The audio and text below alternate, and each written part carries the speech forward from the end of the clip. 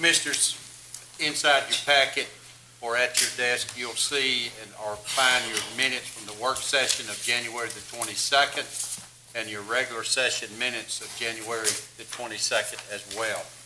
Um, If you have not already, or if you will, please review those minutes. If there are any additions, deletions, or corrections that need to be made, please let Ms. Deeds know so that we can get those done. Otherwise, I'll entertain a